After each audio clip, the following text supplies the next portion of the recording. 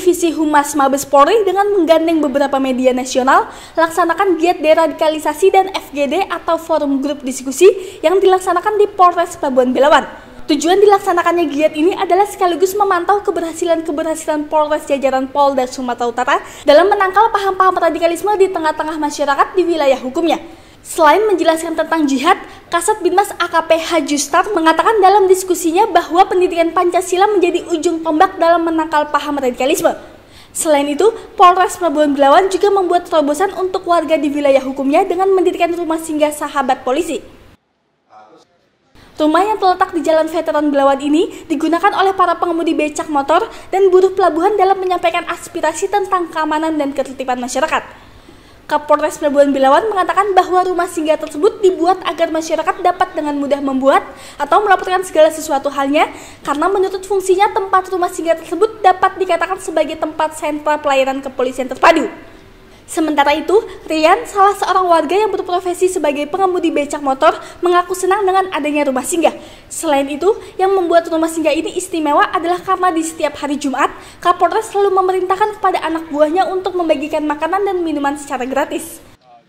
Ini rumah singgah ini berawal dari saya sejak jadi Kapolres tempat tinggal di sebelah. Saya lihat ini mes yang tidak diurus, ya mes kemudian ini sebenarnya rumah dinas Kapolsek tapi tidak ditempati kemudian saya ambil inisiatif selaku Kapolres saya berpikir untuk apa? Untuk kepentingan masyarakat ya. Jadi saya lihat di sini banyak para bapak-bapak tukang beca di seputar rumah singgah ini. Maka saya rencanakanlah membangun rumah ini bersihkannya dan segalanya. Jadi kami sepakat dengan pejabat utama Polres membuat rumah singgah sahabat polisi. Hmm. Yang mana kegiatan awal sudah mulai tiga minggu yang lalu ya. Tiap hari Jumat di sini diadakan kumpul rekan-rekan para abang-abang becak ini ya. Di sini kita buka dapur umum. Ada tiga orang ya yang masaknya. Dan ini kami berdayakan karena wilayah kami juga dekat dengan laut ya dan perikanan.